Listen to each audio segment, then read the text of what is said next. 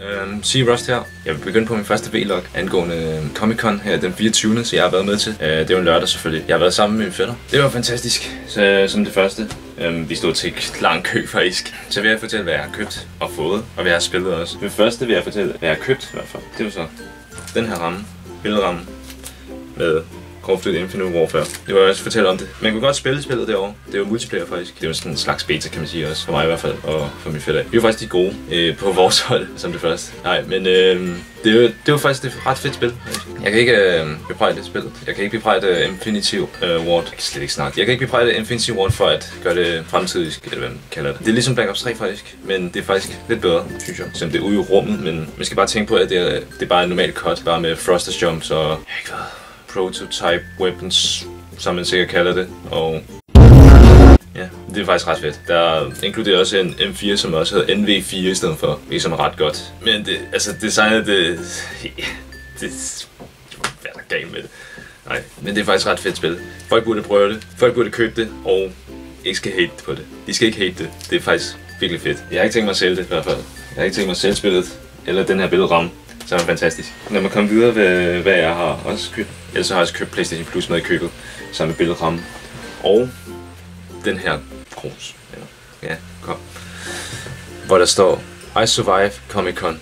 Og så står lige Copenhagen hernede, medmindre den er spejlvendt. Den her lille ting med ja, bare controllers fra PS4, ja, PS3 og PS4, og jeg ikke været bare Playstation i hele taget. Hvor der er trekant, firkant, kryds og rund. I hvert fald de fire taster i hvert fald, som man bruger normalt, er mest i hvert fald. Ligesom, faktisk bruger man alle tasten selvfølgelig ikke. Men alligevel, ja, lad bare komme videre.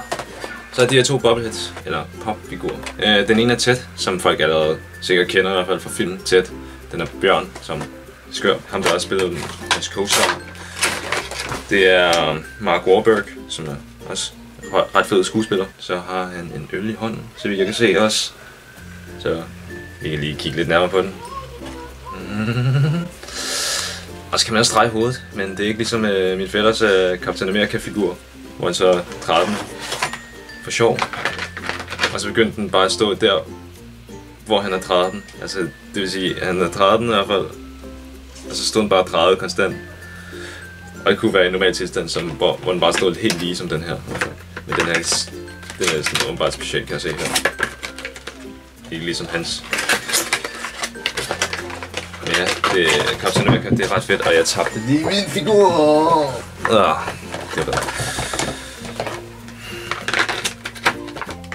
Jeg vil lige pakke den her som en idiot. Det var den ene. Um, så vil jeg vise den anden.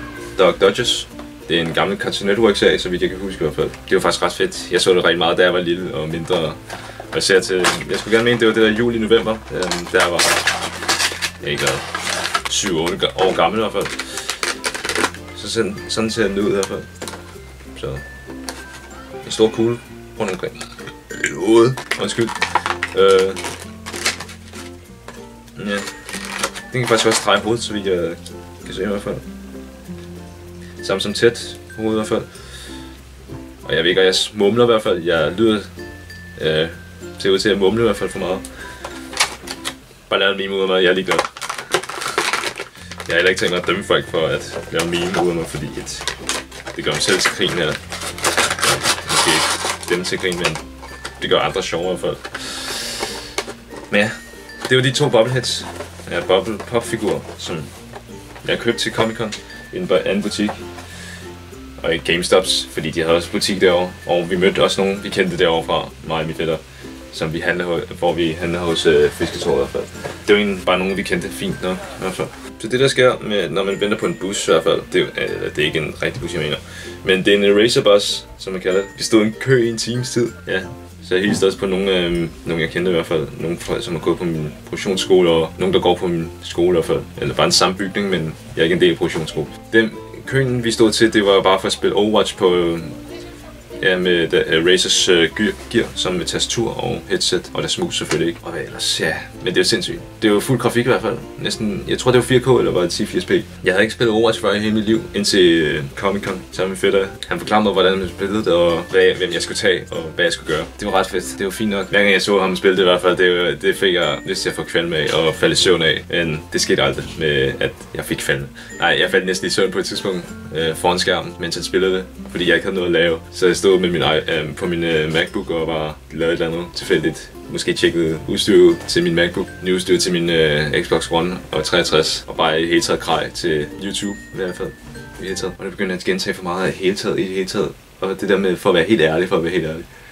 Det skal jeg fandme stoppe med. Jeg virker måske ikke sjov. Men eftersom vi havde spillet øhm, Overwatch og øhm, i den der bus, som ryster sindssygt meget også, så fik vi også dem her. Hvad bruger man, bruger man dem her til? Det kan man aldrig vide. Hvad, hvad, hvad, hvad, hvad, hvad? Hvad så med? Hvad? Hvad er det sygt? Kom her. Hvad?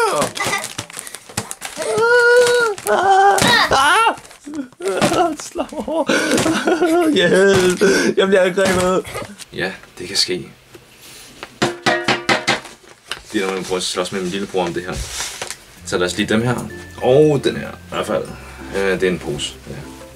Mit vej. Ja, en racerpose. Altså det, man skal sige Illuminati confirmed.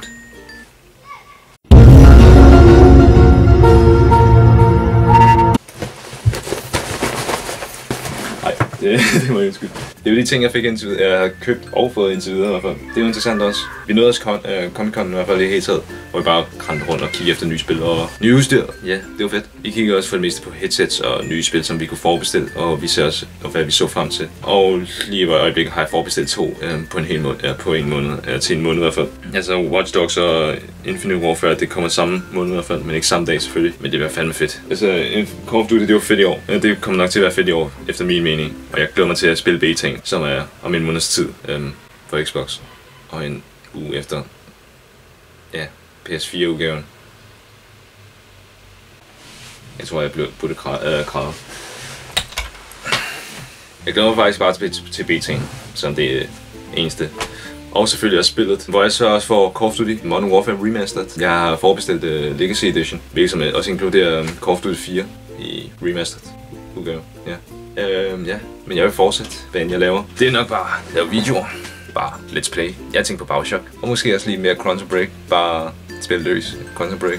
Jeg mangler en hel masse ting, i hvert fald er klar. Især achievements og klar en anden onde vej i hvert fald. Det tror jeg, jeg vil gøre nu. Jeg håber, I nåede videoen også alligevel, og at i nåede at se på alle de her ting, jeg havde.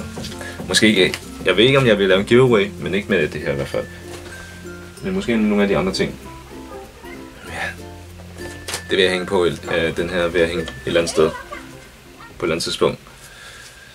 Så. Det bliver fedt. Så jeg vil slutte af herfra. Så vi ses.